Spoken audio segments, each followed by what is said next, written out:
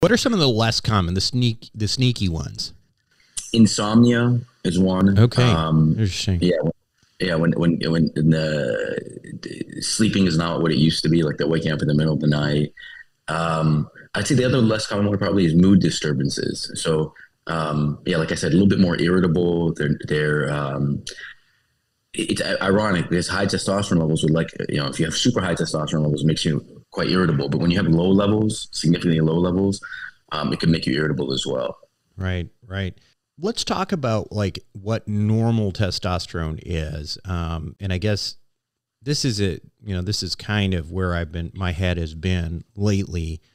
Um, are there target numbers that you're looking for? And maybe you can kind of comment uh, that within the context of these terms that we hear when we talk about total testosterone, uh, sex hormone binding globulin, free testosterone, bioavailable testosterone, all these things. Maybe just to kind of get a, an over overall sort of lay of the land of what this terminology is and what people might you know might be looking for. Yeah,